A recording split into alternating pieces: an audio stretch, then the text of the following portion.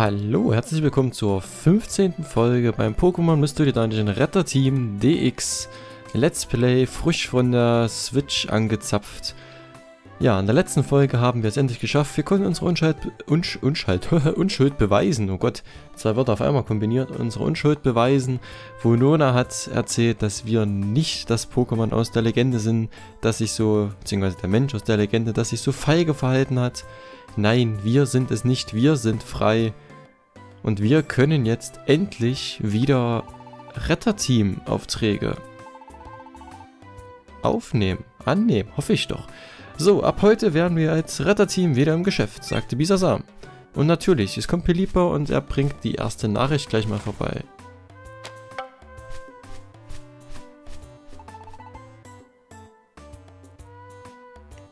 So. Wollen wir uns die doch mal ansehen?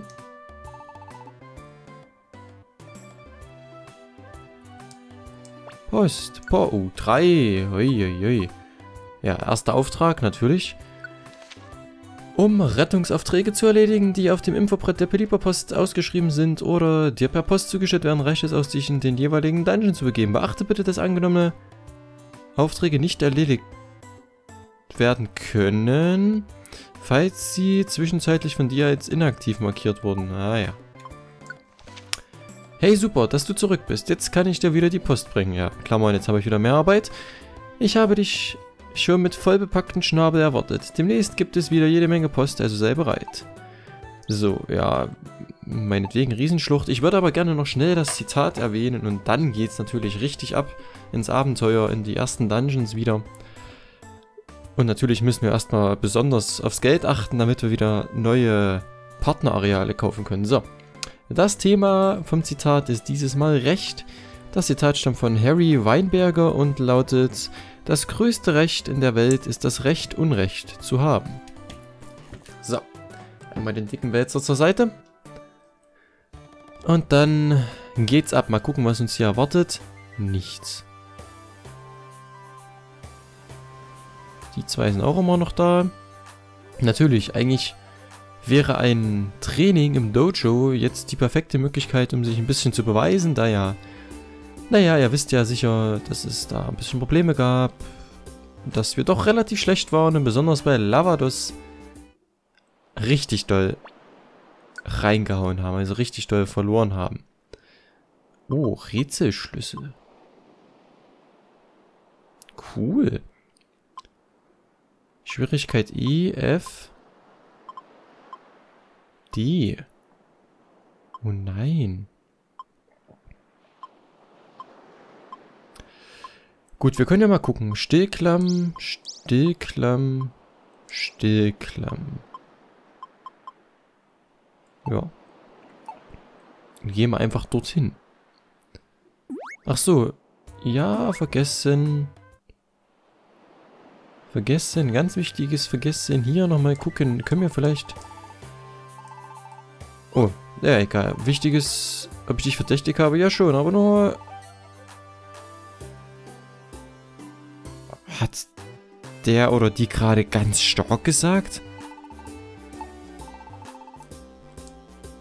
Als ob... Als ob... Ja, jetzt fühle ich mich ver... Mensch, ja, ich will A drücken. Jetzt fühle ich mich verarscht. Uiuiui, das hätte ich nicht gedacht. So. Energiewald. Ja, Sichlor, Sherox, Giftsumpf, jawohl. Quiekel, Schnipke. Das ist gut für, ja, die Frostflockenhöhle. So. Gut. Gut, gut, gut. Ich glaube, wir haben kaum noch Geld, oder? Wir gucken mal noch bei der Bank vorbei. Bitte verzeih mir, wie kann man eine Bank führen, wenn man seinen Kunden nicht vertraut? Naja, fragt das mal die großen Banken. Und doch, wir haben noch 5000. Ja gut, wir machen das mal passend erstmal. Das mache ich auch irgendwie bei Animal Crossing immer. Ich versuche immer auf ganze Tausenderbeträge oder wenigstens noch besser gerade Zehntausender Beträge äh, aufzurunden. So, schnell mal noch ins Inventar gesehen. Ach, die ganzen blöden Samen, die können wir eigentlich alle mal verkaufen. Die braucht kein Mensch. Huch.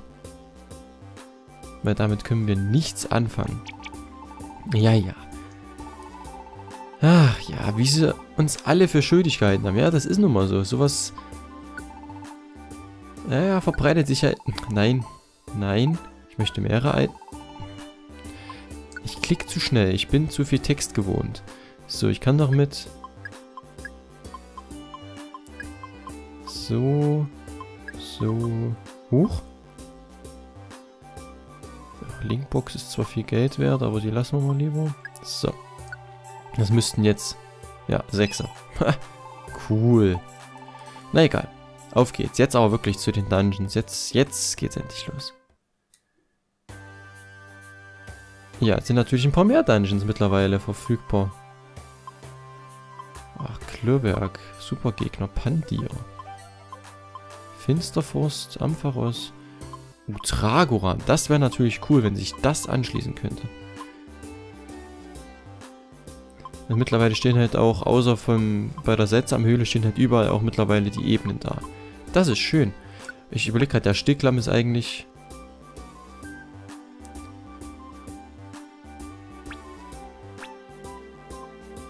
Eigentlich das... Das war der erste Dungeon. Wieso gehe ich da eigentlich hin? Na egal. Können wir wenigstens relativ schnell durchrushen. Ja, ja, Pfiffchen ist auch mit von der Partie. Schön. Ach, da ist er schon ein Gegner und tschüss. Gut, vielleicht kann sich ja jemand an anschließen.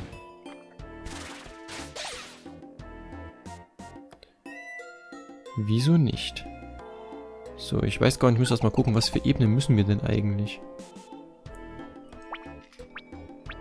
Halt, da ist es. Auf die 3, die 4 und die 8. Okay. Na, vielleicht finden wir wenigstens ein bisschen Geld. Ja.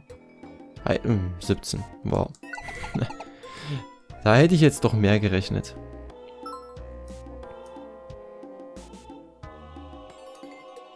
Aber das ist, na gut, das ist der erste Dungeon. Na, der erste Dungeon, da gab es noch nicht so viel Geld.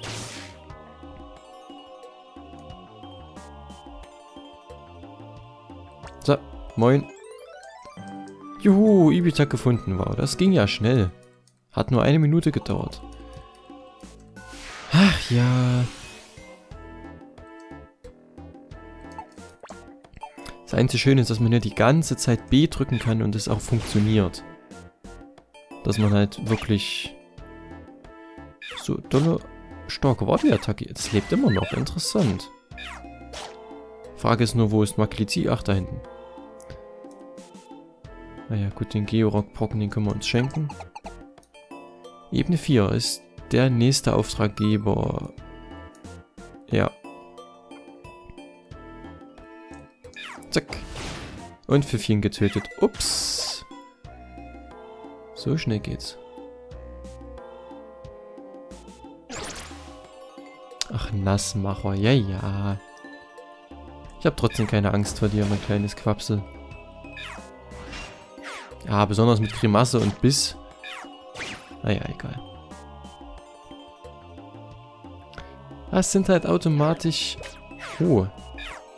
Hat da etwa jemand ein... eine Agilität eingesetzt?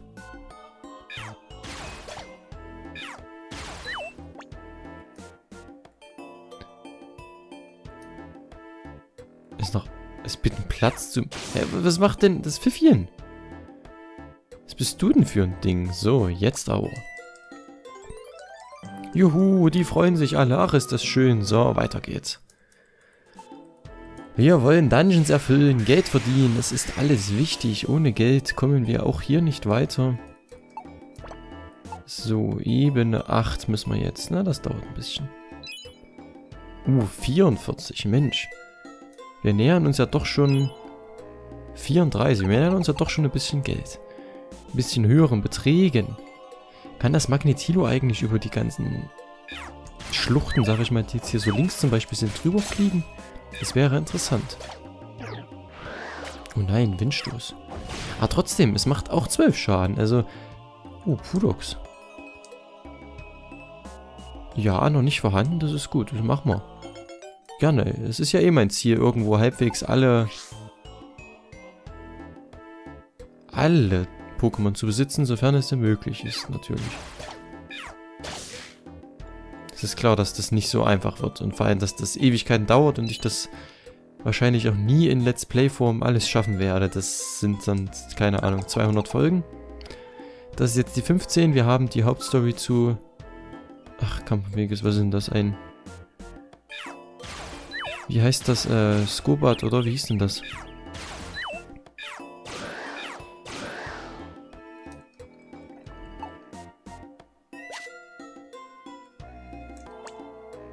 Ach ne, Scoreclass. So stimmt nicht. Scorebat. Scorebat gibt's nicht. Es gibt Xbat.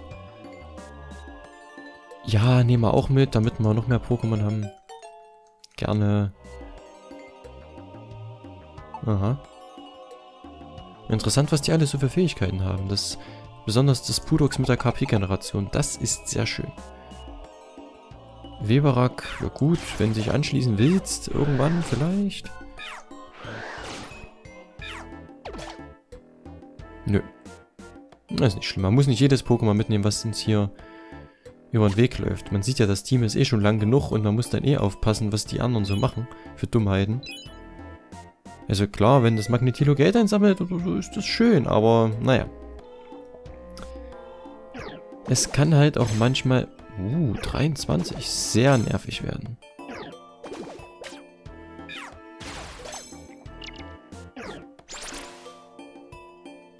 Nassmacher, so ein Spittel. Hypnose, cool. Und zack, und tot. Oh, nee, das wecken wir nicht freiwillig.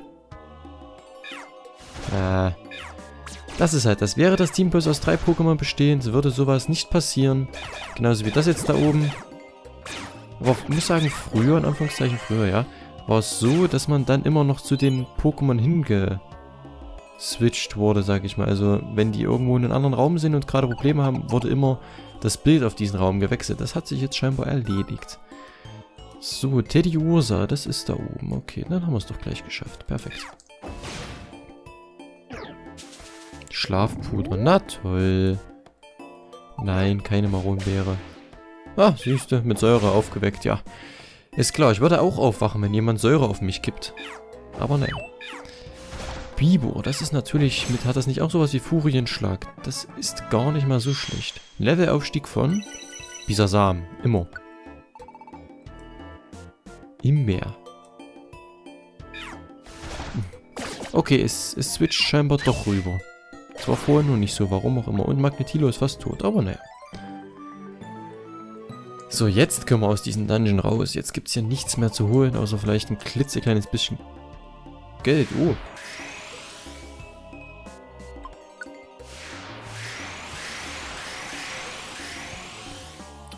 So. Mal sehen, ob es jetzt... Ach so, oh, Rückkehr. Naja, gut. Können wir verkaufen. Pudox schließt sich uns an. Ja, Pudox. Bitte. Nein, kein Spitzname. Und Gorgler.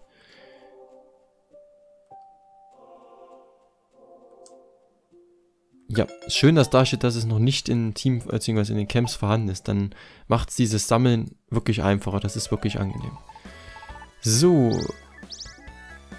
Goldband, das ist gut. Das können wir für ordentlich Schotter verkaufen.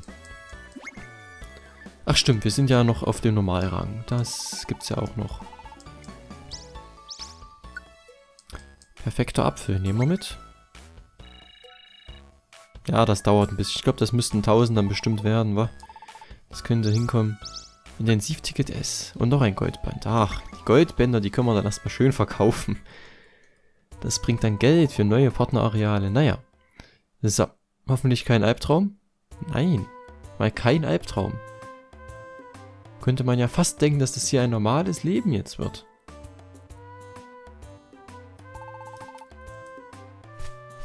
Ja, Pelipa kommt wieder. Es ist wirklich...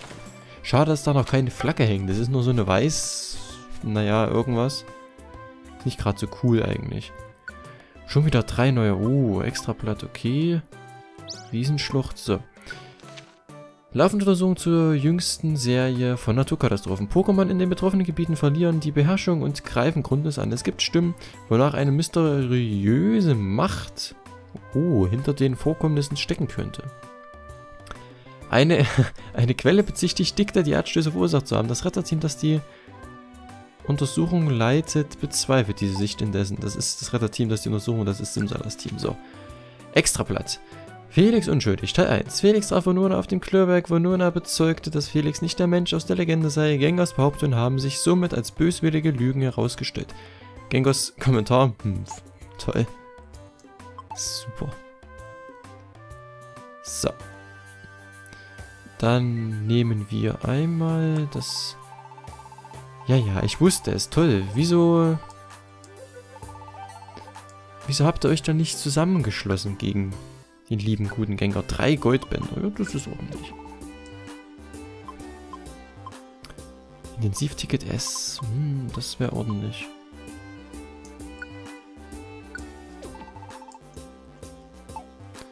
So. Zack, verkaufen. Verkaufen, verkaufen. Ähm. Da, jeweils. Nein! Ach, das nervt. Das ist zu schnell und zu wackelig, die Steuerung, wenn es nach links und rechts geht, muss ich sagen. 7.500, das ist doch schon mal was. So, dann können wir hier hingehen. Gucken wir mal. So, ich würde sagen, wieder von vorne angefangen, außer das teure, das muss nicht unbedingt sein. Schön, was könnte man ja auch mit L und R mehrere auf einmal auswählen, aber das geht, glaube ich, nicht.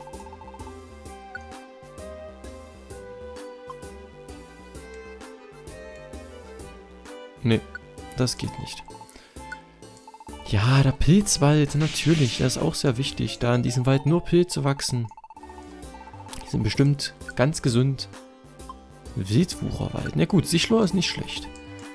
Das hat eine hohe Initiative, das hat Vorteile. So. Weitere Camps, natürlich. Irgendwas anderem bin ich ja gar nicht hier. Treibsandwüste. Knackleon, das wäre cool. Hier, uh, ist sogar für diese Pokémon geeignet. Cool. Ist sogar die ganze Liste schon voll. Dann machen wir das doch gleich. Ach ja, es ist immer so viel Text leider. Treibsandwüste für Knackleon, das auf jeden Fall. Das wäre doch gar nicht mal so schlecht, die Idee, sich einen Knackleon zu holen. Weil, wie schon gesagt, wenn das Stylibetra wird, das ist dann schon stark. Ja, irgendwann müssen wir eh alle Camps kaufen, also... Besser ist, wir machen das eher, umso wahrscheinlicher ist es, dass wir die Pokémon, die wir finden und die sich anschließen wollen, dass wir die auch nehmen können, dass wir die aufnehmen können in unsere lustige Gemeinschaft. So. Okay. Ja. Ja. So, Vulkankrater. Uh, das ist natürlich teuer. Grollhöhle. Was... Uh, hier hinten kommen dann doch eher die teureren Pokémon zum Vorschein. Das hier ist jetzt für Tanhier und Metang und dementsprechend bestimmt auch für Metang. Mystik Sebo Drachenzornhöhle. Oh, Kindwurm Drasche. Okay. Antike Ruine. Rätsel kann man uns natürlich, ja, das habe ich ja schon mal erwähnt, ist natürlich für die ganzen Inkognitos. Ich weiß aber nicht, doch ich weiß auch, wie der Dungeon heißt, aber bis wir da sind, das dauert schon noch ein paar Wochen, Monate. So, 1000 haben wir noch. Gibt es da bestimmt noch hier, gibt es noch einen, die Grollhöhle für Onyx und wer weiß für welche Pokémon noch, aber das natürlich, das nehmen wir mit. So, mehr Geld haben wir nicht zur Verfügung. Zahlen vielleicht noch 1000 ein. Gibt es immer eine Sinebeere oder so. Für ganz treue Kunden. Zack. Ja. Oder ein Apfel, ist auch nicht schlecht. Sehr gerne. So, dann gehen wir runter und machen das Intensivtraining noch. Ja, ich weiß, die Folge soll nicht überzogen werden, aber das möchte ich jetzt mal noch machen. So. Ach so, ich hätte es gar nicht im Inventar haben müssen, scheinbar. Ah, hier sieht man mal alle Pokémon. Das ist natürlich sehr fetzig. Und ja, natürlich trainieren wir unser Start-Pokémon einfach, weil es zu wenig Level hat. Na gut. Extrem viele EP, na, ich bin gespannt.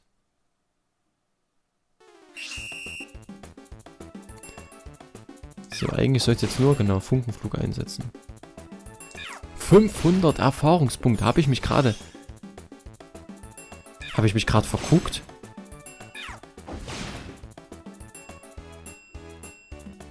Äh, kommt her zu mir. Los, los, los, los, los. Rennen halt alle weg. Das ist halt richtig genial. Oh, Giftstachel. Ja gut, ich meine, mit Großbrand ist das gar nicht mal so... 500 Erfahrungspunkte, das ist ja krass. Ich muss einfach nur A drücken, das ist halt schön. Und nochmal. So, jetzt gibt es keine weiteren Pokémon. Oh, das war knapp. Los, los, los, los, los, los, los, los, los, kommt alle zu mir. Wohl, hm, toll. Sind halt am anderen Ende der Welt. Eins vielleicht noch. Nein, Mist. Hat nicht gereicht. Aber trotzdem, wie viele Erfahrungspunkte waren das? 5000 vielleicht? Ja, zwei Level, das ist doch gut. Gibt zwar immer noch keine neuen Attacken, aber... Vielleicht gleich noch eins? Es ist halt wirklich... Es ist halt wirklich schon heftig. Ja. Das hätte ich halt auch vorher mal machen können, weil es ist halt eigentlich nicht so schwer. Man muss halt immer nur seine typenspezifischen Attacken ausüben. Mehr ist es halt nicht. Und man muss halt ein bisschen aufpassen, dass man die Pokémon auch alle richtig trifft. Also, dass man denen auch richtig begegnet. Man muss die Muster analysieren, wo die eigentlich langlaufen. Und das ist halt gar nicht... Wow, ich dachte, der war schon besiegt. Das ist halt gar nicht so einfach. Jetzt könnten sie alle kommen. Ja, das sieht gut aus. Ja, da haben wir wieder eine ganze Charge. Ach ja, gut, Käferbiss, mein Gott. Muss einfach nur A drücken, Funkenflug, Funkenflug, Funkenflug. Und das Schöne ist, interessanterweise macht das auch gleich Schaden am Nachbar-Pokémon. Seit wann denn das? Wer weiß. Oh, naja gut, dafür gibt es Belebersamen. Das Einzige ist halt, beziehungsweise man wird ja unendlich oft belebt. Das einzige Problem ist, man verliert dabei halt Zeit. Wenn man so oft wiederbelebt wird. Oha, Lockduft. Ein Spittel. Huch. Trugschlag. Ha, hat er uns eine verpasst. Der traut sich aber was. Na toll, hier ist nichts. Oh. Ja, gut. Ach Mensch, hätte das nicht noch treffen können. Aber vielleicht reicht das wieder für ein neues Level. Sogar für zwei. Ui. Feuerzahn. Das ist eine Attacke, die können wir ruhig mitnehmen. Hat ein bisschen mehr, aber... Brand oder zurückschrecken? Natürlich die Frage, ob wir... Hm, das anstelle von Biss...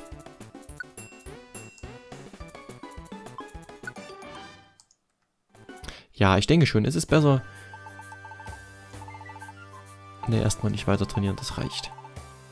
Level 26, das ist wirklich ordentlich. Damit können wir doch ein bisschen mehr anfangen, würde ich mal behaupten. So, jetzt würde ich mal gucken, dass wir, wir haben ja schon zweimal Riesenschlucht, dass wir nochmal die Riesenschlucht, vielleicht finden wir da noch ein paar schöne Aufträge. Jawohl. Oder kommt jemand mit? Okay. Ne, finde Plusse und hilf mir. Okay, gut wäre jetzt kein Problem. Müssen keine Items mitnehmen wahrscheinlich. Habe ich nicht so genau geguckt.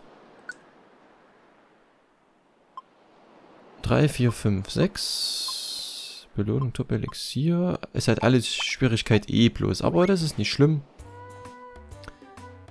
Machen wir natürlich trotzdem. Wir wollen ja den ganzen Pokémon noch helfen. Und es gibt einen super Gegner. Ambidiffel. Die Weiterentwicklung von Griffel. Vielleicht besiegen wir den ja oder finden den. Das wäre schön. Es bringt ja nämlich ordentlich Erfahrung und auch vielleicht eine legendäre Kiste. Das wäre schön. Ja, erstmal. Ja, nächste Ebene. Unwichtig. Alles unwichtig. Und gleich weiter. Perfekt. So, Ebene 3. Da kommt nämlich schon das erste Pokémon, was wir retten müssen. Ich weiß gerade gar nicht. Ach, da drüben. Okay.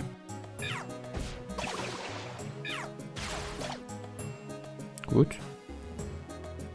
Perfekt. Optimal. Juhu, wir haben Plusse gerettet. Yay. Das war ja einfach.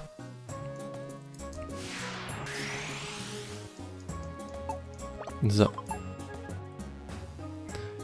Jetzt noch zwei Kämpfe und dann geht's zur nächsten Ebene. Oder vielleicht nur ein Kampf.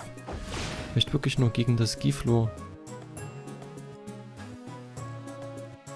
Haben das Geld da unten vergessen, aber egal. Ja, sogar dieselbe Ebene, direkt neben uns. Perfekt. Optimal, das läuft doch. Also, so schnell Dungeons lösen, das ist ja...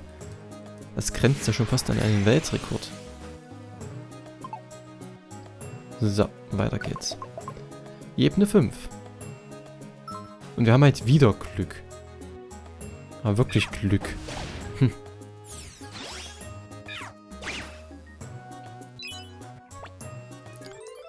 Hallo Zubat, ich rette dich und tschüss. Mach's gut, Malner. So. Ja, ja, eine mysteriöse Kraft. Schön. Nein, wir möchten den Dungeon trotzdem nicht verlassen. Denn es gibt ja noch ein Pokémon, dem wir zur Hilfe eilen müssen. Ja, einmal hm, Feuerzeug. Oh ja, es brennt. Das ist doch praktisch. Auf Wurzler.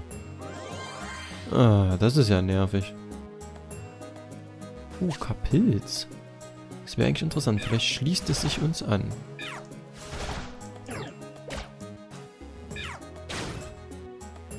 Nö. Ah, das kann auch gute Giftattacken, deswegen. So, ich glaube, diese Ebene ist dann schon das letzte. Letzte Pokémon, das wir retten müssen. Ein Fritzelblitz. Das war eigentlich der letzte Auftrag. Mal gucken, was der Text sagt. Ja, ja, ja, ja, ja. So.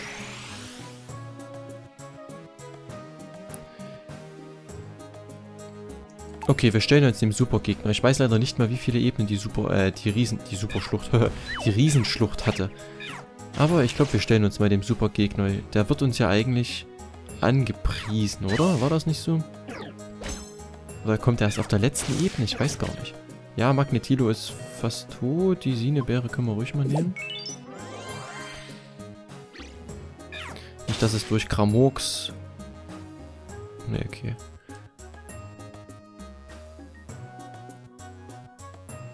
Ach so. Ne, dann brauchst du das doch. Ja, wo gibt's denn hier noch Geheimnisse? Hätte man uns doch den... Ach, da ist er doch. Ah, ich sag doch. Da ist doch der Supergegner.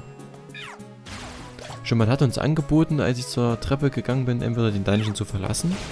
Oder, nachdem ich dann doch B gedrückt habe... Ja, oh, das ist jetzt ungünstig. Gut, wenn er den alleine besiegt, sehr gern. Aber das glaube ich nicht. Nö, nö, passt schon. Und tschüss. Ach nee, wir haben ja Belebersamen. Nein, kein Item einsetzen. Das ist gut, dass wir jetzt danach gefragt werden mittlerweile. Finde ich angenehmer als so wie es vorher war. Oh wow, da ist nämlich schon die Kiste. Die Luxusbox. Oder ich habe vorhin legendäre Box gesagt. Naja. Was war das für ein kampfunfähiges Pokémon? Nein, ach Mist. Ja, weiter. Ja, möchte ich. Ja, möchte ich. Riesenschlucht Ebene 8. Ich hoffe, dass das nur so 10 Ebenen oder so hatte. 9. Ich weiß es leider nicht. Was kommt denn hier? Nochmal? Wo kommst du denn her? Haben dich doch schon besiegt. Oh. Ja, ordentlich. Dachte, es brennt für... Na, nicht... Na, gut.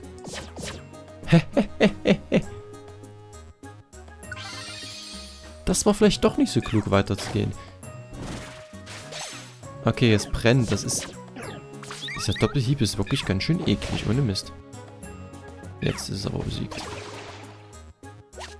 Halleluja. Das war doch ganz schön kritisch, muss ich sagen. Wird Zeit, dass wir hier rauskommen aus dem blöden Dungeon. Ich weiß jetzt wieder, die Riesenschlucht war... Äh, Kastanienfalle. War dafür gut, dass wir zu Exato gekommen sind. Als ob ich das Geld nicht mitnehme. Hallo? 64. 64 haben oder nicht haben?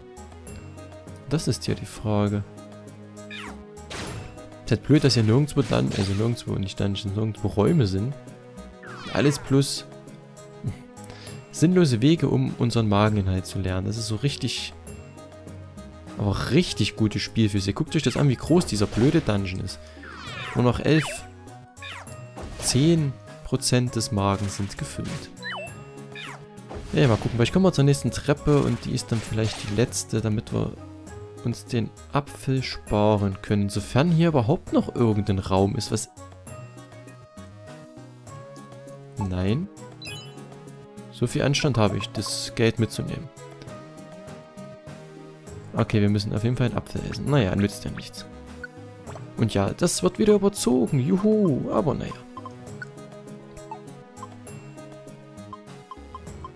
So. Einmal bitte einen Apfel verspeisen und dann geht's weiter. Ich weiß leider wirklich nicht mehr. Ich habe es gegoogelt. Was waren es? Waren es elf Ebenen? Ich habe das in der einen Folge gegoogelt, als wir da gescheitert sind. Und das habe ich auch schon mal erwähnt. Ich habe bis jetzt noch nicht diese Sackgassen gefunden. Die gab es früher immer. Da sind solche Wege einfach so in Sackgassen gegangen. Das ist irgendwie Entweder haben wir es nicht mitbekommen oder ich habe es vergessen, dass es die gab, aber bis jetzt habe ich die... Oh. Als ob das verfehlt. Was war denn das für ein Mist?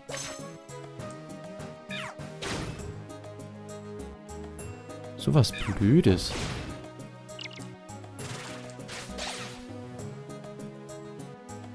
Ja, doch, die Sinebeere nehmen wir... Hallo. Nehmen wir schon mit. Das Geld schenken wir uns. Ebene 11. Ah, Hundemon äh, kann doch, glaube ich, meine, ja, kann meine Feuerattacken absorbieren. Das wäre, äh, ja, doch, die Sinnebeere nehmen wir. Brüller. Geil. Na, wenigstens aufs Geld. Als ob der das...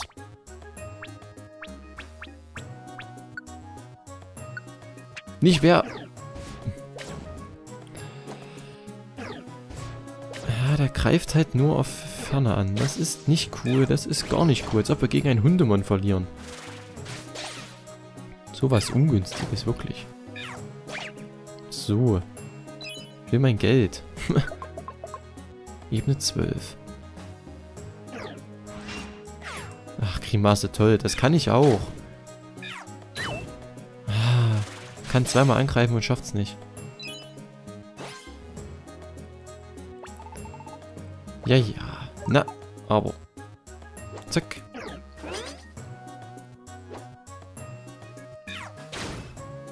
Mit dem ordentlichen Feuerzahn passt das schon. Wenn es zurückschreckt und danach verbrannt ist, ist doch wunderbar. So. Jetzt, okay. Regenbogengummi und nochmal Regenbogengummi, na toll. Ja gut, die nehmen wir mit, das steigert ja den IQ, damit wir irgendwelche Fähigkeiten lernen können. Wie war denn das? So, Calcium Defensivschal und 150, naja gut.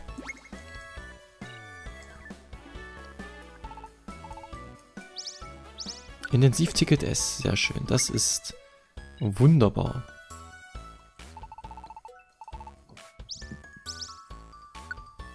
Das nehmen wir sehr gerne an.